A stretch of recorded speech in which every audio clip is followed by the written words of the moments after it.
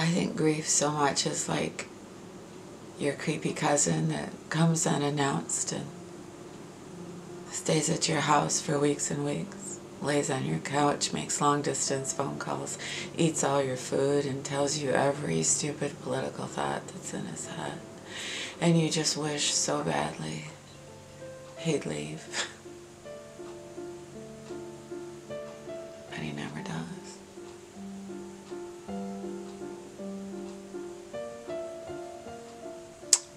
eventually, he does. We wanted to bring a lot of joy to people's hearts. And although I was messed up, I was broken, I was was hurting from a divorce. Cooper was the current. He was the joyful he was the joyful current that kept it all on track. I had a good life. And that life was being Cooper's mom. now what do I do?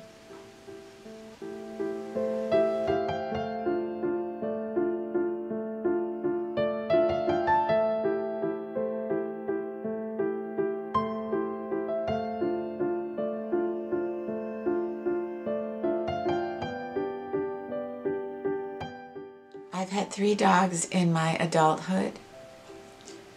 I had Rosie and I had Toby and I had Cooper. And I loved all three of my dogs. Beyond words, I loved all three. But Cooper, Cooper was, he was special. He had a special, he had a, he had no malice. He had no anger to him. He, he was docile and kind and funny and determined and full of joy. And that's all he ever wanted was for people to play and be happy. And he, his joy was contagious. Cooper was with me when I was married and I lived in a big home and he had a fenced in backyard. When I got a divorce, uh, I moved into a, a small apartment and my ex-husband had a house so I let him have Cooper and he took Cooper up north and he lost him up north fishing. But he did not tell me that. And so Cooper became a stray. He got pneumonia and was taken to a shelter, and the English Setter Society of Michigan was called in.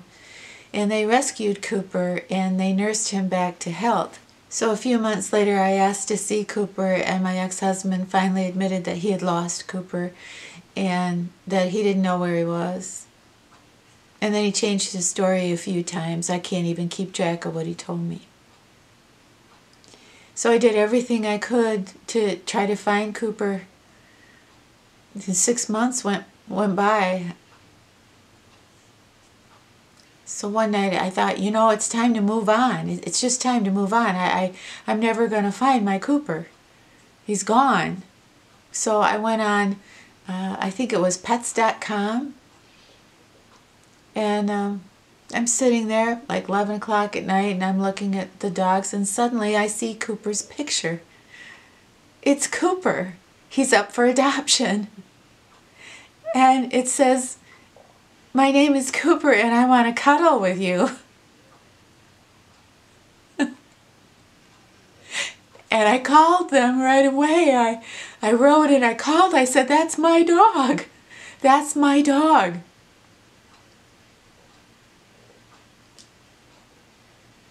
And Cindy and Tim from the Michigan English Setter Society, they were wonderful. And like five days later, they drove Cooper back to me, brought him back to me. And we kind of um, we kind of jumped into each other's arms. Pause. And Tim, he's a great man who who uh, fosters English setters. His wife really loved Cooper, and I could tell they didn't they didn't really want to give him up. But after they saw how Cooper and I were together, they let me have Cooper back.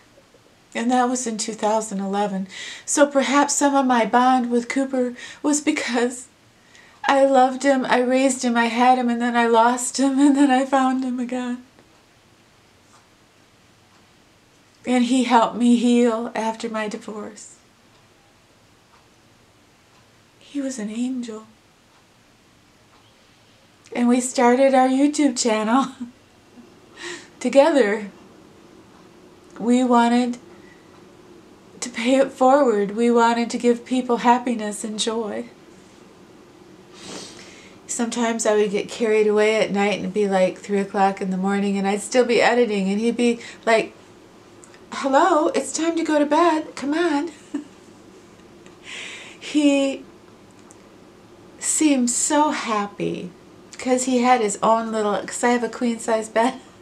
And he had his side of the bed with his little blanket and his toys, and he would always, you know, that was his side of the bed. And then I would get in, and then, you know, he would cuddle up and we'd say goodnight. And he always seemed so happy. Just like we're a family, and we're going to go to sleep, and then in the morning we're going to have a great walk and a great adventure. And that's the way it was. Sometimes, you know, we'd put the camera up and we'd start filming, you know, and we'd be hanging out in bed reading or something, you know, and then more often than not we would we would just forget the camera was there. The battery would go down and I'd have like two hours worth of footage.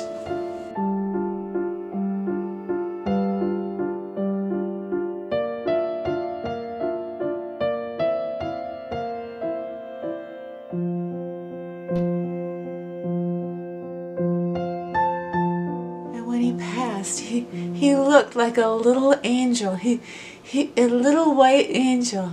And, and the look on his face was that of freedom and peace. And all I thought about was, you know, that he was at the Rainbow Bridge and, and, and he was free and he was happy. And I would see him again. It wasn't goodbye. It, well, it was like goodbye for now.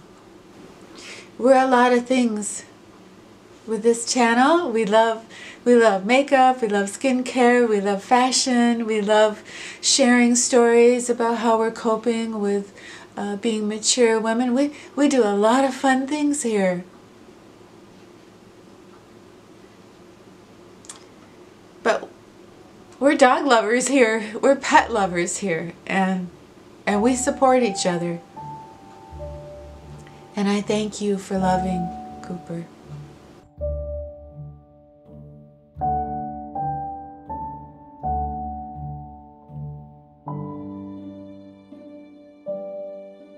I was so lucky to have Cooper for the time that I did. And he made me a better person and a stronger person. So I'm anxious to see what the future brings.